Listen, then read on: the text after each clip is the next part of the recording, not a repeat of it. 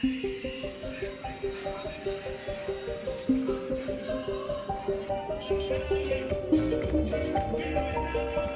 you.